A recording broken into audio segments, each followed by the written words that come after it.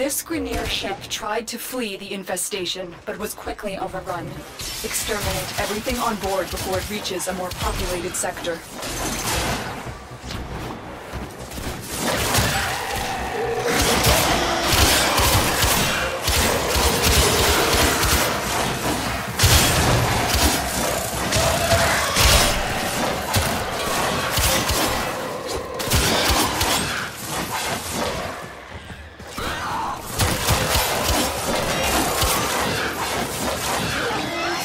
The Grineer may have thought they could toy around with the infested, but they are quickly learning how wrong they were.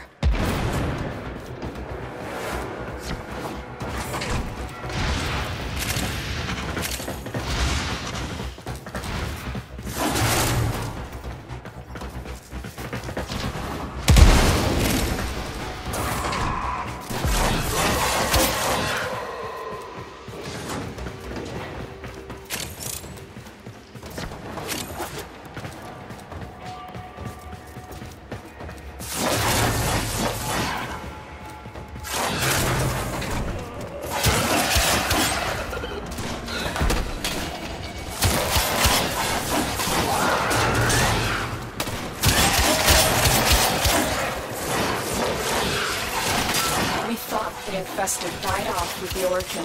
For hundreds of years, there was nothing. Now this. Where did the Grineer find these creatures?